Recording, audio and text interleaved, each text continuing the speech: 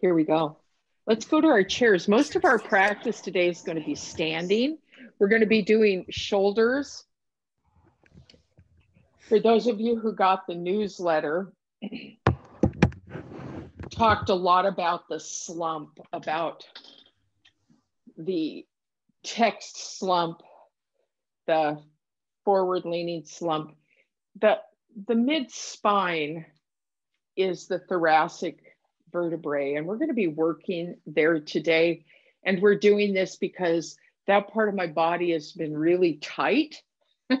so come along with me today as we do some movement to lubricate our spine.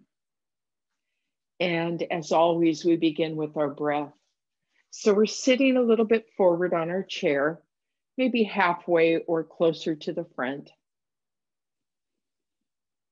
And we just begin to notice our breath.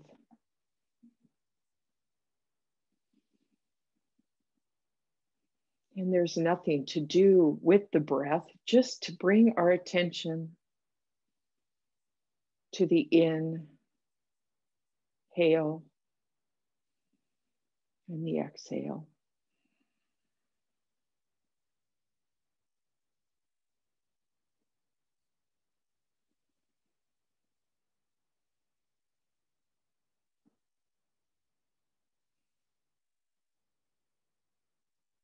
The jaw is soft.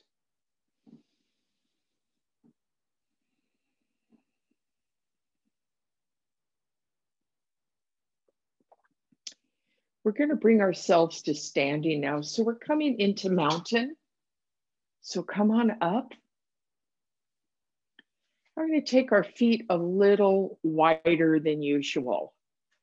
So often we stand with our hip joints stacked above the ankles. Today we're going to be maybe as wide as our pelvis. And we're just going to pause here in mountain. Let the knees be a little bit soft. The jaw is a little bit slack. And just notice how standing feels. We're going to turn the right foot out and the left foot turns in just a little bit, not much. And we're going to raise our arms. Look out over the front hand. This is warrior two, a short step. Noticing our shoulders. Then we release the arms. Toes come forward to parallel. And now we'll travel to the other side. So the back foot turns in a little and the front foot turns out. And we rise, we bring our arms up. And we notice how the shoulders feel. We'll come back to this at the end of the practice. And we release the arms. And then the feet come forward. They're still a little bit wide. And we come to Padabandha. Padabandha is where we lift the toes up, the body rocks back. And then we come forward with the toes, grabbing the earth, grabbing our mat, body leans forward. And now let's do some breathing with this. As we go in one direction, it'll be an in breath. And when we switch directions, it'll be an out breath. We're just saying good morning to our feet just going back and forth.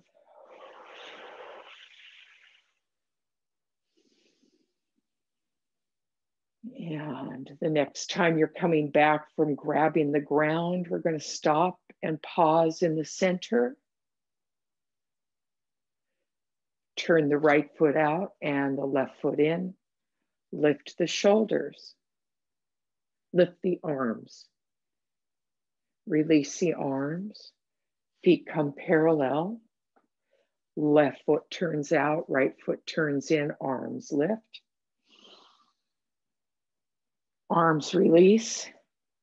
So each time we do that, we're noticing the sensation in the shoulders. Was anything different by just working the feet? Because while we're going to be working the shoulder area, the whole body is impacted by anything we do anywhere in our body. So we're going to start with scapular rotation. So scapula are the shoulder blades, right?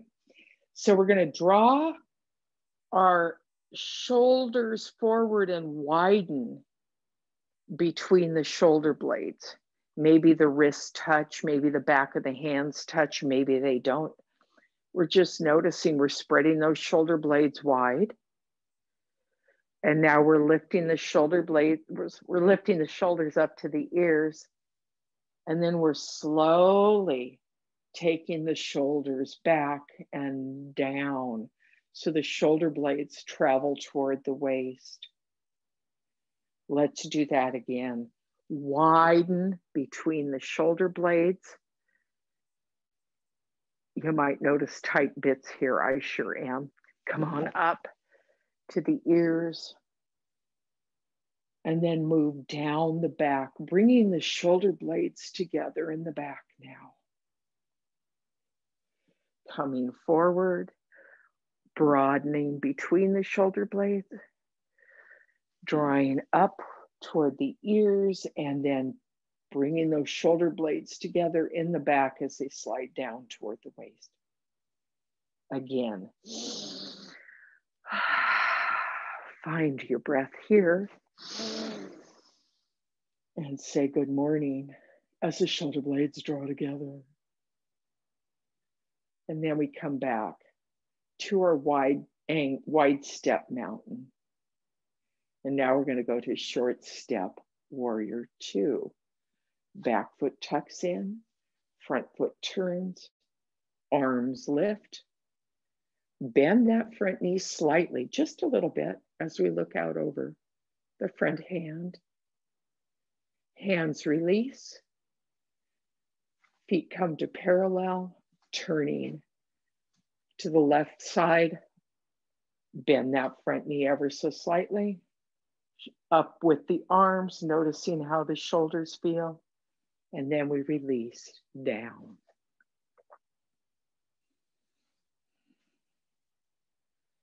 We're going to draw the shoulders forward. So now we're focusing on the upper part of the shoulders. So the shoulders come forward and the shoulders come back. Forward and back. Forward and back.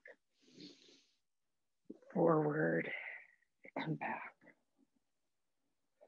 And now we're going to do individual shoulder lifts. So we're drawing up the left shoulder toward the ear, back, down, forward, up, back, down, forward, up, back, down, and relax. Switch sides, up, back, down, forward, up, back, down, forward and up, back, down and forward, and then relax. And now we're going to take both shoulders forward, up, forward, back, up, forward, back, up and forward, back. One more time. And we pause here turning out again. So we're going to the first side, back foot cocks in, little tiny bend in the knee, shoulders. Oh, that's a little clearer for me. How about you? Straightening the front leg, toes turn forward, switching sides, bending that knee just a little bit, the front knee. And release. Coming back to center. Again, the feet are still a little bit wide. And we're going to bring some attention to the feet now. I'm going to turn sideways. I'm touching the wall. I'm turning my toes backward, not, not standing on my toes. I'm aiming the top of my foot to the floor to release the ankle. Whew. Three breaths here. That might feel tight. Ooh, switching sides. So the top of the foot is aiming toward the floor and the toes are pointing backwards away from the body. And the stretch is in the front of the ankle. And then we pause, come back to center, a little bit wider than the pelvis. Warrior two, a little bend in the knee. Look out over the front hand, pause here for three breaths.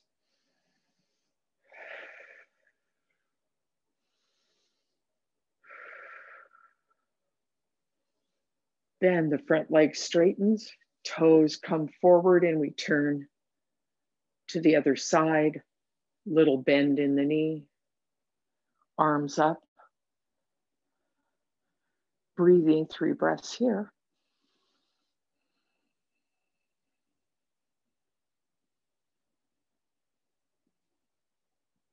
And then straightening that front leg, feet come to parallel. We're going to cross the body now with our arms. We're going to bend our knees and let the pelvis follow. I'm thinking of the hula dancer in the room. While this is not hula, the mechanics are pretty good. Let the pelvis relax.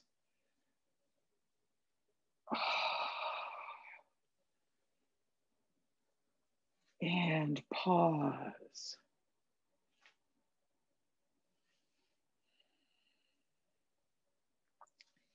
Turning to the right, back foot cocks. Here we go. Bend that front knee, three breaths here. and if you're inclined, you can make this a little wider stance if you'd like to make it a little bit deeper into warrior two. And then the hands release. Feet come forward, switching sides little bend in the knee, looking out over the front hand, a few breaths here, or maybe just a couple. And then we release and we come back to center. Feet are a little bit wide. I'm going to turn sideways now. Some of you are familiar with this practice. we're going to lead with the wrist. So that hand is limp. I'm starting with the right hand. I have a little bend in the knee. My legs are soft, they're not locked. Going to lift the arm just to the first point at which there's a little resistance in my shoulder. And then I'm going to press into my feet, lift my heart to lift the hand. And then slowly release. Are you breathing? Let's keep that breath moving. Soft knees, arm lifts, press into the feet to travel all the way up. So reaching now becomes a full body experience, not just limited to shoulder action. Come on up, press into the feet, lift the heart, lift the hand. This time we're going to let the hand float back. Any amount, no force, no strain. Maybe look at the hand, the palm will be up. And then we release. And we're going to switch sides. Arm floats up, and you might notice a difference between the right and the left side when it gets to the point where you feel a little catch in the shoulder joint. Press into the feet to lift the heart, to lift the hand. Reaching becomes a full body experience, and then we release back down. Soft knees, lifting, pressing into the feet, lift the heart to lift the hand, and back down. And one more time, lifting by pressing into the feet and the heart. And this time, when the hand floats down, we're going to let it travel behind. Maybe look over the shoulder at the open palm. And then slowly, slowly, slowly release. We're coming back to our warrior two. So maybe you're still in short step. Maybe you'd like to take it a little wider. You decide. We're going to turn that right foot out, left foot comes in, bend the front knee, and then slowly begin to lift the arms. This time, palms up.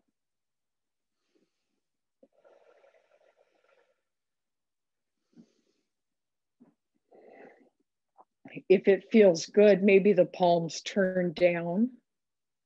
Play with this. Does it feel better? Palms up. We're going to pause here. We're going to press into the back edge of the back foot. We're letting the pelvis, the back side of the pelvis, so that would be on the left foot, we're letting it turn toward the front.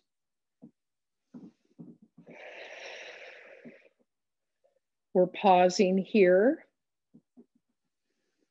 And we're using our breath to occupy this full posture. Slowly, we come out of this by straightening the front leg. The arms can stay up or come to your waist, depending on what your body wants to do today. We pause in the center, and then we're going to turn out to the left side. Make sure that back foot turns in just a little bit as we look over the front hand. We're breathing here. Press into the back edge of the back foot and allow the back side of the pelvis, the right side, maybe to move forward just a little bit more.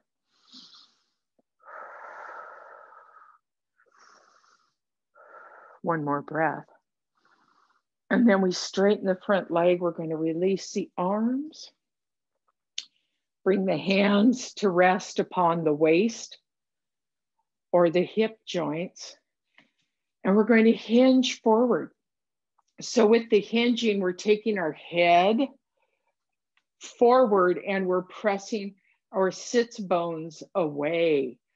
So we have a counter weighted action. We're going one direction with our head, the other direction with our pelvis, with our sits bones. Bring your hands to rest if your balance is feeling comfortable here, let your hands rest on the sacrum.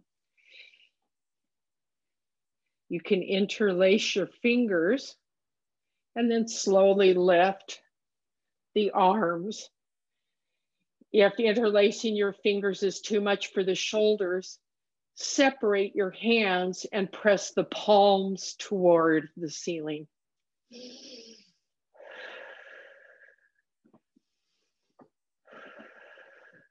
And to release this, we're going to slightly bend our knees. Hands come back to our low back, pump the toes up and down, and then slowly hinge up. Whew. We're going to walk our feet together. Just for a moment, let the insteps touch. Let the hands rest behind the back, holding opposite wrists with the heart elevated, pressing into the feet. If this is a balance challenge, maybe just taking the feet a little bit wider helps. And then we're going to release the arms and open the feet just a little bit more. So the feet are coming maybe as wide as our pelvis.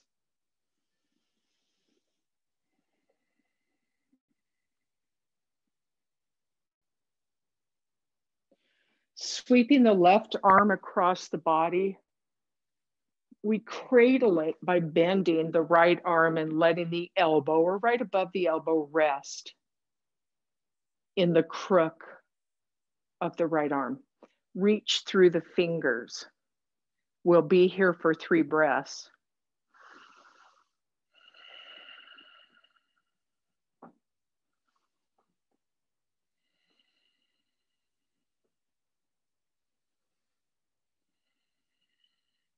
Now we're going to take that arm, we're going to bend the elbow and we're going to touch right underneath the neck.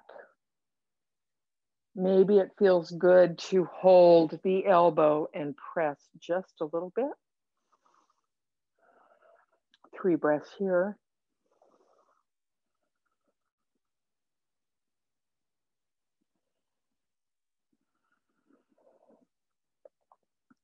Then slowly release that arm.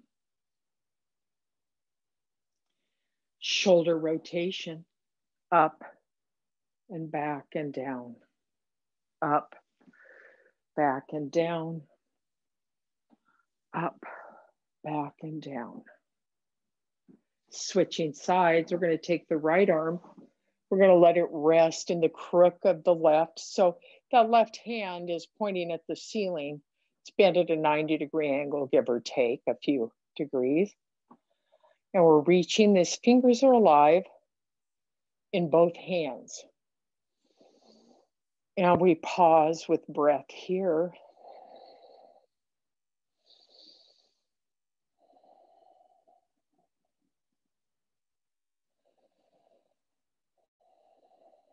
And now we're going to take that arm, bend the elbow, bring the palm to rest somewhere on the back, above, between the shoulder blades, if at all possible, or right above the shoulder blades take the opposite hand and hold the elbow. You might be familiar with this as a tricep stretch, but you'll also notice that you'll feel it in the rib cage and maybe all the way down into the feet.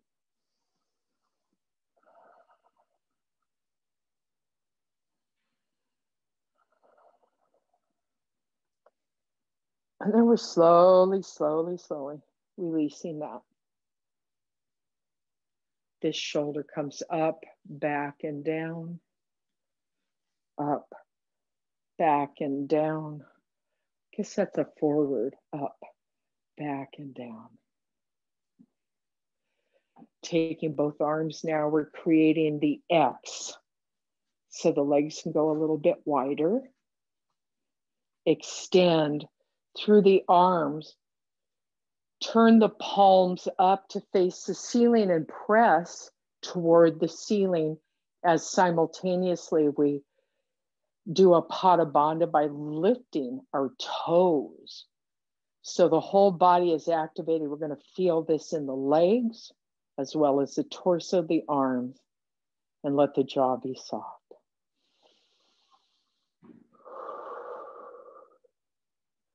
Softening the knees bringing the hands to heart center, step or hop the feet together, letting the insteps touch.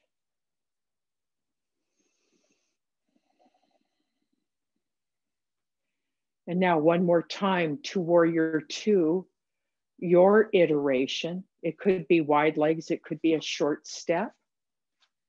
We're going to turn the right foot out and the left foot in gently bend, little bend, tiny bend in the front knee.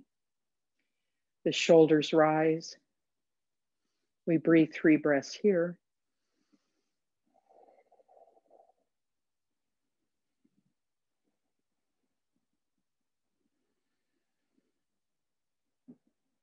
The hands release, the toes come forward. We switch sides. Take your time in your transitions. Let that front knee bend. And then the arms float up. And we just notice now how the shoulders feel in this posture from the first iteration to this one.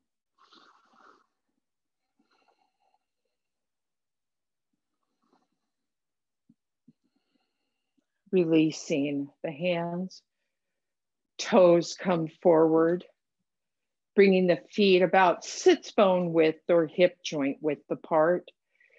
We're going to slide the hands down to the shins. Press the left side of the pelvis back, the left hip goes back. We look to the left. Back to center. Go to the right side, pressing the right knee forward, the left side of the pelvis back. I think I got the cueing right. We're going to go back and forth just a little bit and very slowly. Going to do two more times on each side. But remember, there's no rush. We're stretching things out here.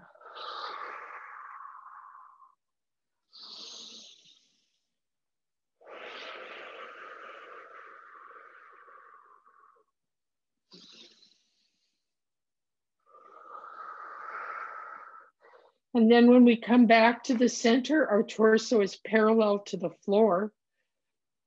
Lift the toes, bend the knees, press into the ball of each foot. Both feet were rising up. And we make ourself back. We come back to mount, make ourselves a mountain. Pausing here.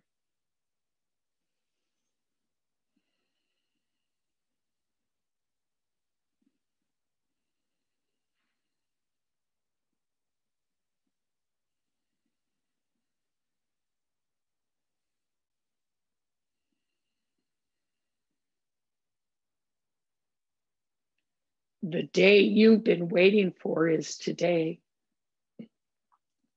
The moment you've been waiting for is this very moment. Thich Nhat Hanh. Happy birthday to you, Pat.